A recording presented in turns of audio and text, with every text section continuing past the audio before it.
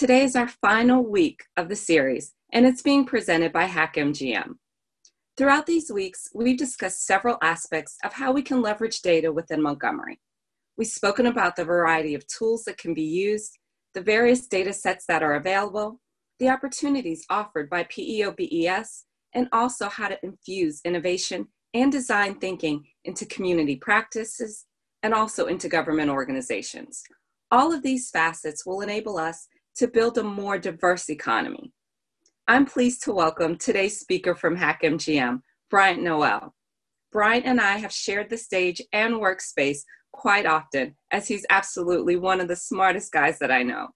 He has a passion for Montgomery, our tech ecosystem, and growing the local tech economy. Today, he's going to touch on how we can use all that we've spoken about to grow Montgomery's tech ecosystem. But he's going to build upon previous sessions that we've had within this webinar series and really talk about community building for the community that we love and live in. Please welcome Bryant Noel. Welcome, everybody. Uh, thank you for attending. I'm going to be kicking off a conversation around HackMGM and that we are restarting it. So give me just a moment to get the slides up and running on this. Seem to be having some technical difficulties with the slides. I'm going to go ahead and do this a bit more freeform. So thank you all for attending. HackMGM will be kicking back off at the beginning of next month. I wanted to talk a little bit about what went well previously and what uh, didn't go as well and what we're going to change up in the future what went well previously um, with HackMGM is that we did have a lot of community engagement, and I really want to focus on that community engagement for the next iteration as well. What we were able to do is continue to grow communications across the education initiatives and across the industry and across the military and continue to engage with those different individuals. So continuing in that vein, I want collaboration and communication to be the main focus of the, of, of the HackMGM project really whenever we're talking about um, what we want to engage on moving forward in that way, uh, we should be pre presenting it not so much on the idea of products delivered, but on the idea of collaborations and experiences shared. So I'm going to take a brief pause and try one more time to get these slides to work. Give me just a moment. So I able to get an older version of it to work. We'll uh, go a little bit more ad lib on that moving forward. So HackMGM. Um, so some of the uh, things that we wanted to do differently coming up is specifically targeting lean coffee discussions and uh, mob programming. Um, in addition to what we had done previously with specialty presentations. So we had um, previously had a lot of specialty presentations where individuals would come and speak on things and pitch projects. We're trying to back away from that conversation and more importantly discuss a more collaborative approach, hence the lean coffee and mob programming approaches. So for the lean coffees, which we will be um, presenting here at the end of this conversation where I kick this off, uh, we'll, be, we'll be trying one out. You establish a just-in-time agenda. So instead of having a preset agenda and uh, having the attendees um, attend based on that, instead you have your attendees collaboratively build your agenda when it is most important to have it, uh, just prior to starting the conversation. So we plan to host those once a month on the first Saturday uh, to have everybody get together and discuss these things. So you'll iteratively discuss each of those prioritized themes. Um, looking at mob programming, we are hoping to do that also once a month. And what that looks like is with a mob programming session, you try to get everybody that is smart on a problem in a room and get them all to tackle the problem simultaneously. So the intention will be to find a problem that is small enough to solve in a single session. This is contrary to what we had done previously, where we would try to pick up entire projects and try to push forward with a, with a volunteer staff to accomplish these projects. Instead of trying to prioritize the product, we are trying to prioritize the people and the execution and learning that's going to happen within those projects. Uh, the next section will be specialty presentations, which we would like to do on an ad hoc schedule as needed. And we'd really like to discuss on a variety of different tech themes. And we really encourage anybody that wants to present on these themes to please put them in chat or communicate them in our Slack channel, which you'll see here in just a few moments. So one of those themes that we'd like to go over are Agile in general, software development, information assurance, DevOps, and many other subject areas, really around the tech scene and the community and as a whole.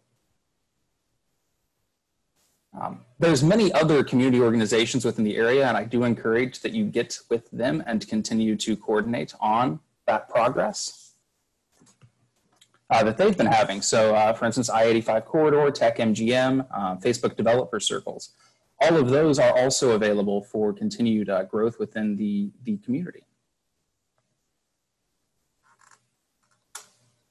Um, how would you like to get involved? Well, you can join our Slack group, which will have all of these different pieces and parts. And additionally, we'll be having a Trello board set up and many other things. Um, I'm going to move into attempting to run a lean coffee here in just a moment. So I'll be sharing out a link with everybody and you should be able to join that link here in just a moment. So one second, please. So if everybody could please go to the link that I shared in chat. Um, and if you have any specific questions that you would like to have addressed, please put them in chat as well. What we're going to do is walk through this and iteratively build a conversation around questions that individuals may have surrounding HackMGM or the community as a whole and have a more collaborative conversation. So please go to the link attached and go ahead and start putting cards, uh, little sticky notes, on the backlog and write down any idea you'd like to discuss. And then we're going to give everybody about five minutes to work through that. And then we will talk about each of these prioritized items after we vote on them. All right, that'll, that'll wrap up the time that we have set aside for creating ideas. Now we're going to vote on the ones that we want to talk about and hear more about, and then we'll discuss them together. So I'll go ahead and start a voting session for everybody that is in this, and everybody can have, uh, have three votes. So vote on anything that you would like to vote on. We've got a few seconds left for this, um, and it looks like the individuals that are on the board have voted at this point. So we'll go ahead and end this voting session so that we can see what we wanted to talk about. So it looks like Agile and Scrum training is going to be the first conversation that we want to pick up. So uh, who wants to kick that one off and ask any questions around it? Or is it just a conversation around is Agile and Scrum training going to be made available? I will kick it off. So Agile and Scrum training, um, looking forward to continuing to engage with various members inside of the team on this. Talking uh, probably more around a Kanban style approach and specialty presentations for Agile and Scrum training. I hope to be hosting a variety of Scrum trainings in person. So I want to be doing those routinely. Um, I also want those to be a major theme whenever we do our lean coffees in the future. So that whenever people present cards like we're doing now on this board, I can share my screen. That'll probably make this easier. So whenever people see these boards with these various cards on them, we can continue to have conversations around Agile as a major theme. Uh, today, the major theme was really HackMGM and the community as a whole. But in future, we'll probably try to prioritize individual themes for each of the sessions that we have and provide lots of context around what that looks like coming up. So as far as training goes, we'll be providing more conversations than specific trainings. Whenever we do give specialty presentations, however, those will be more targeted toward the experiences that an individual should have. For instance, I know that I'll be giving one on product ownership, uh, performing as a Scrum Master, and performing as a developer on the various Scrum teams. So addressing all of the three roles that you can have inside of a Scrum team. Um, other questions on this one? So, so the, the intent is for this to be collaborative. So if anybody else has thoughts on this, please jump in and provide more information. Any questions, comments, recommendations, anything?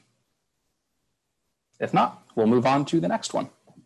So, how to build community? As I said at the beginning of this uh, this conversation, I really wanted it to be um, targeted on collaboration and the people more than on the product and the process. I, I hold the I hold those to be more valuable. So, how do we pursue building community inside of HackMGM? Uh, through deliberate collaboration with all of those various different community partners and pursuit with them, but also through when we do get together, I don't want it to be a one way conversation. I, I want everybody to participate in these conversations and to continue to push forward this dialogue, um, not so much a lecture.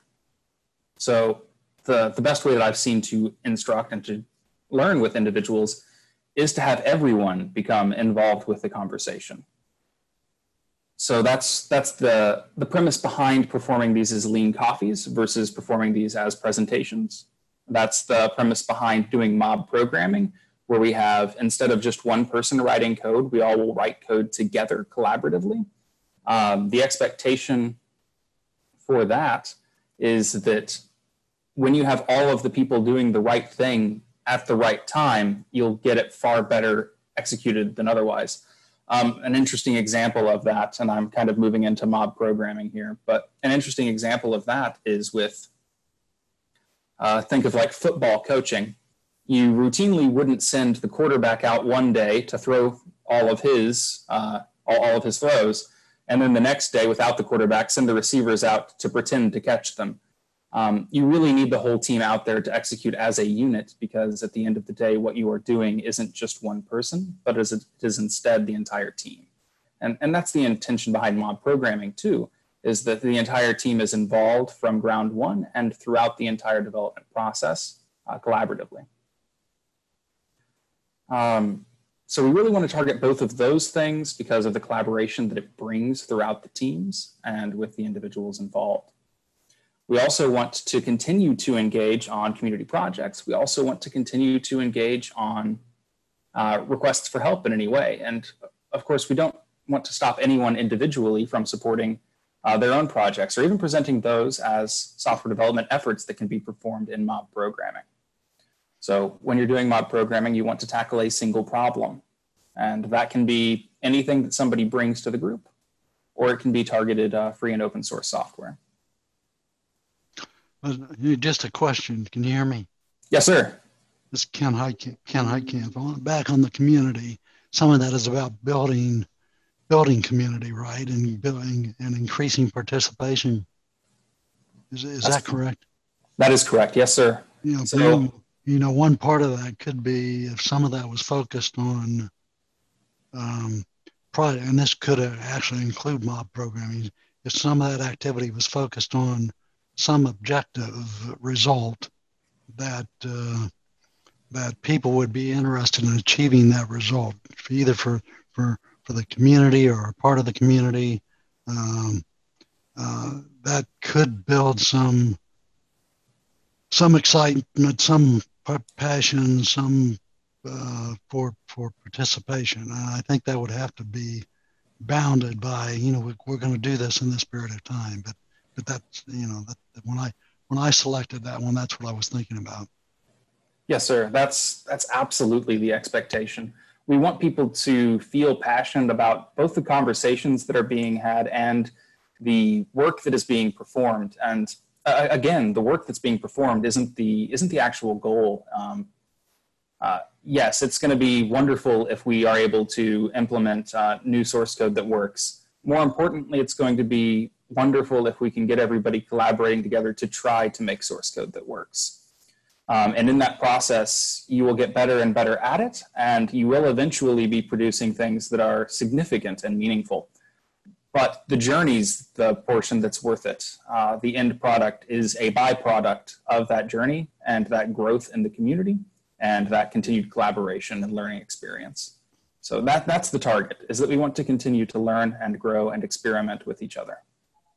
But that that M project might help provide the glue that holds that together during the journey. Yes, sir. That's absolutely correct. Is there more on how to build community? If not, we will move on to free and open source hey, software. Hey, Brian, real quick, um, just an idea that popped into my head while you guys were talking is if uh, we were to set up like a competition or some kind of internship program where we could use Bespin to have some kind of problem that needs to be solved or code that needs to be developed and host like a competition to see if somebody in the local community could develop it or you know intern with Bespin as like a partnership.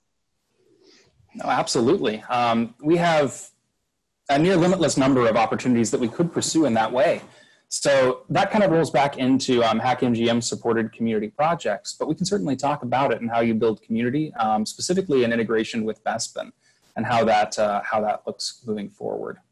Um, so as a disclosure, uh, as a disclaimer, I do work at Bespin. I work with uh, Fearless and we are contracted to work at Bespin. So I am one of the, uh, the Agile coaches and Scrum Masters there. Um, and we, we do these lean coffees there as well as a way to uh, continue to build communities of practice and growth inside of that community also. Um, one of the things that would be really beneficial uh, in my mind is to continue to grow that connection between the military and between the community as a whole. Um, not just HackMGM, but also TechMGM and I-85 Corridor and all of the other groups. So I certainly think that there's huge opportunities for that kind of a project to, to exist. And I think that that's something we should certainly follow up on.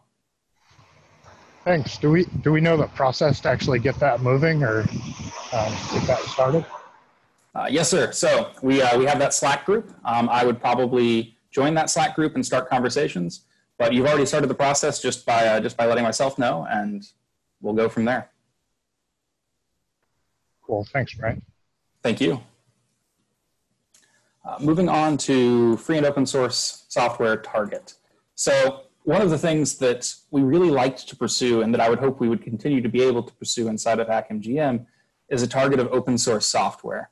We liked the idea of what we developed to be available both to our community and to larger communities. Um, it's also going to be simpler to find problems that are consumable in a meaningful way with mob programming if we target open source software because their repos are available and we'll be able to more rapidly find small uh, digestible amounts of work that can be executed on at a single time.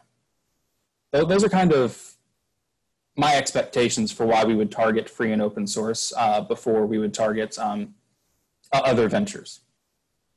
Are there questions on this one? Any other thoughts? I can talk a bit more on it. Whenever we talk about uh, free and open source software, one of the concerns that routinely comes up is licensing and uh, copyleft licensing and how that's um, can be problematic whenever you start to include uh, free and open source solutions into um, what would otherwise be a paid solution, so COTS, commercial off the shelf or something. What you end up with is many of these, uh, uh, for instance, GPL licenses, uh, GNU project licenses. Um, whenever you start doing those, they have stipulations and clauses in them that say if you use their free software, you don't have to pay for it, but your software then needs to be also free and available. So it's it's viral in that way, and that if you start to use these pieces of free and open source software in your uh, systems and code, all of your systems and code need to eventually come to that level as well. So there are certainly uh, positives and negatives to targeting uh, free and open source software. Um, and it's going to be, of course, project by project basis, uh, task by task basis as to which project we're working on and which applicable license is in place. Is there anything unique in there for government? There's also, given that there's a lot of state, local, and federal government here, is there anything unique for the for those governments? I presume that would be considered to be free if the government did it, but I don't know if from an industry perspective. And I, I'm not asking for an answer here, but that's uh, a side of it that may be addressed in a later session. No, absolutely. I think that that's really important to discuss is how does free and open source software apply to the, the military and the government as well? And from my understanding, it applies in the same way as it does to, to everyone else. Um, you are allowed to execute with deployments of these applications, but whenever you start to pull in portions of the source code into your own projects, then it starts to get uh, complicated. And uh, from my understanding, the licensing at that point would require that those other software pieces that you are building on top of it also be open source and available. Um, so, for instance, we use uh, RHEL servers, Red Hat Enterprise Linux, and of course, it is open and available as well. Now, we do pay for those. We pay for those because we pay for support for those, not because we're paying for the software itself, from my understanding. And what that means is, is that we can use uh, Red Hat Enterprise Linux RHEL servers because we are not altering the way that it behaves. So we, we are still using the exact out of the box solution for that.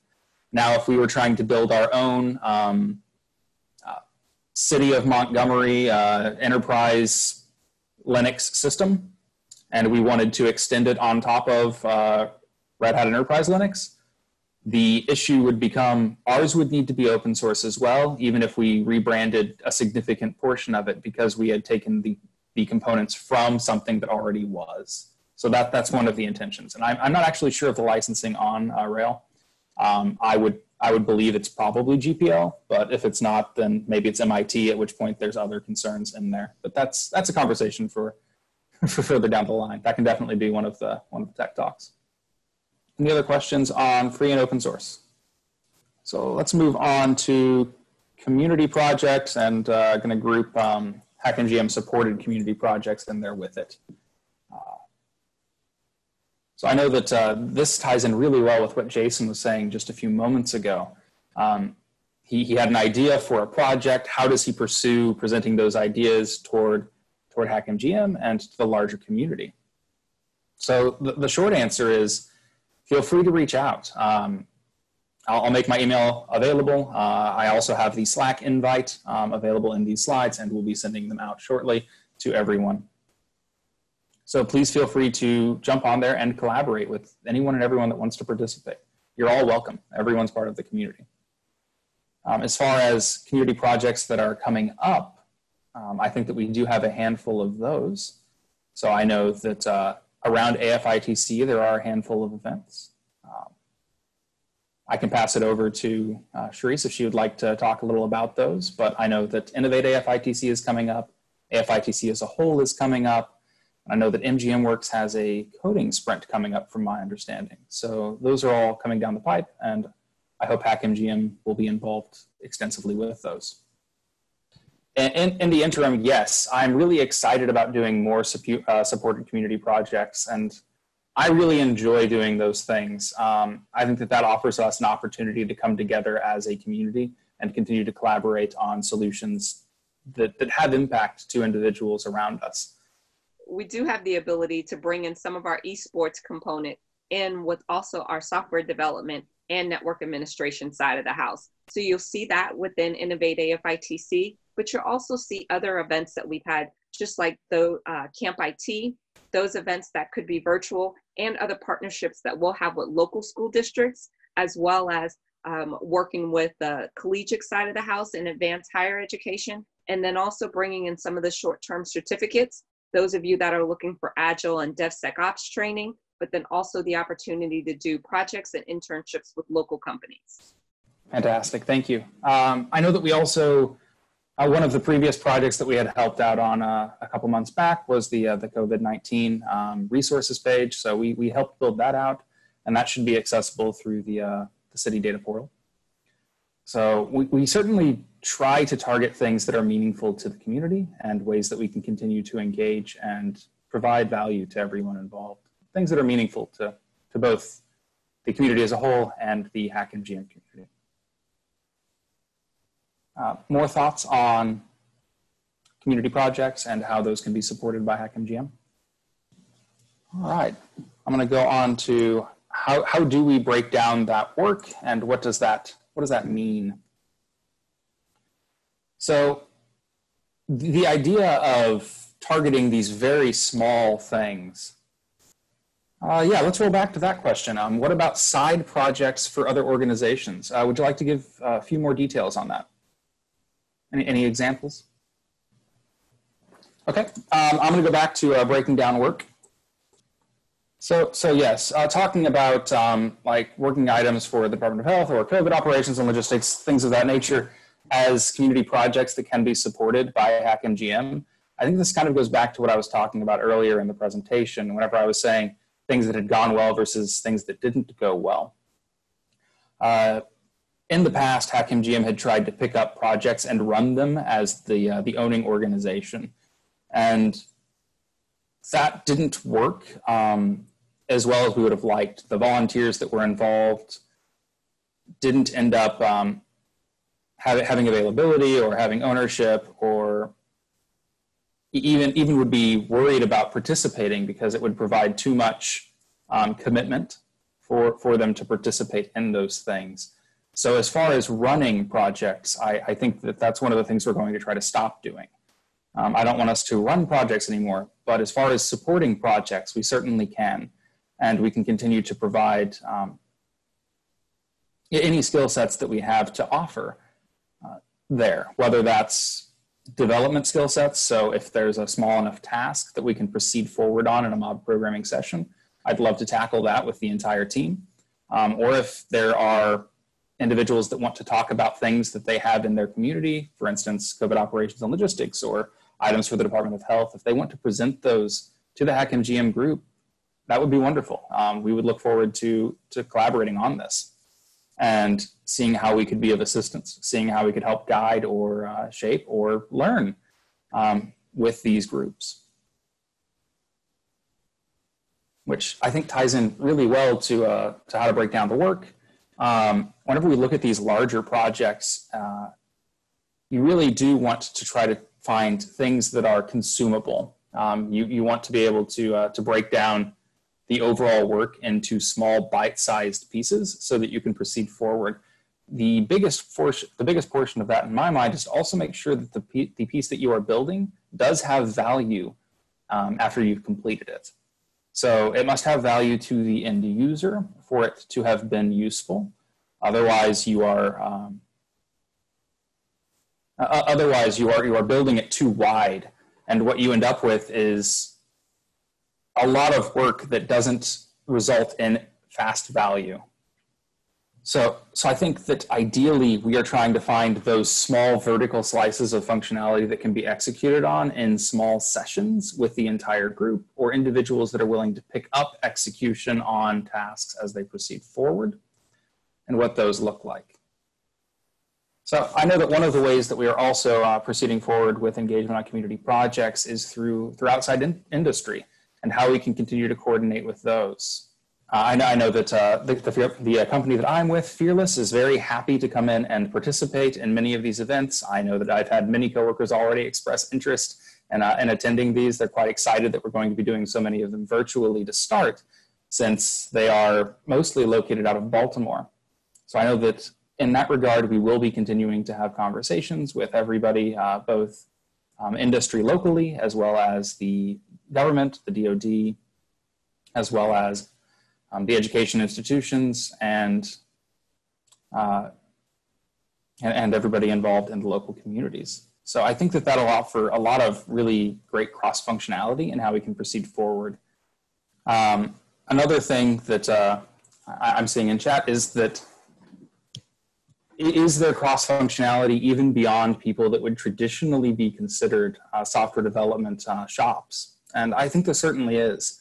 Um, I, I, would love to engage with various other industries in the communities um, and different uh, civic organizations and how they proceed forward to help solve their problems um, and to offer them tech solutions toward these problems or to at least help collaborate with them on coming up with what is a what is a reasonable solution considering tech as well. So I'm certainly open to having anyone and everyone that wants to attend any of our uh, any of our events, please do so. Um, if you are attending the event, you are a techie. You you've you've decided to become one, and that's wonderful. Um, you don't have to be a great programmer. You don't have to be a great designer. That's that's not the expectation. It's not that you will be wonderful whenever you walk in the door. No one is, and everyone will continue to learn what makes you a good programmer or a good designer isn't that you can execute very well to start, it's that you continue to improve. Um, any questions on how to break down work? All right. Then I'm going to give us about 15 minutes for just generic uh, Q&A to wrap this up, see if there's anything else that anybody has. If there's nothing, then I can pass it back to the chamber, to Charisse, and we can go from there. Thanks a lot, Bryant. Um, I appreciate you, one, for uh, speaking on HackMGM. Uh, having HackMGM actually to relaunch is, is an awesome thing for all of us and for the entire community. As we continue to talk about just the variety of things that we can do from a technical perspective in Montgomery, this gives us an additional opportunity to bring everyone to the table. Everyone that's considered themselves to be a software developer, programmer, very technical, but then those that are just concerned and really passionate about the Montgomery community. As we've gone to virtual operations, there's a lot more of a focus on not just technology, but then also how do we reach people that may not have had technology at their fingertips like we have. But we also have an opportunity now with civic hacking and with our virtual operations to tackle a lot of the problems and a lot of the challenges that we have in Montgomery. Things like digital divide, uh, things like even logistics and COVID operations, how we're handling medical, education, and other opportunities across Montgomery. So using not only agile software development principles, but more technical based principles to solve some of our community problems and challenges is definitely not only a way of the future, but something that's certainly very successful in other organizations and cities and something that we see will be successful in Montgomery. So one, appreciate you, Bryant. We look forward to what you'll be able to do with HackMGM, and we look forward to being able to participate in the future. For those of you that um, didn't have an opportunity to attend any of the webinars that we had previously, uh, this is our sixth webinar, and all of them are actually posted on YouTube on the Chamber site, and you're welcome to go back and take a look at some of the past webinars and sessions that we've had and then also look forward to some new sessions that we'll have over the coming months as we continue to operate not only virtually, but then trying to make sure that we're networking within the entire tech community in Montgomery. So one, thank you for attending today. Appreciate your support throughout this last month and a half as we've done our Tech MGM webinars. And we look forward to working with you the remainder of the summer and the remainder of the year in building the tech ecosystem in Montgomery. Have a great afternoon and have a wonderful week. Stay safe.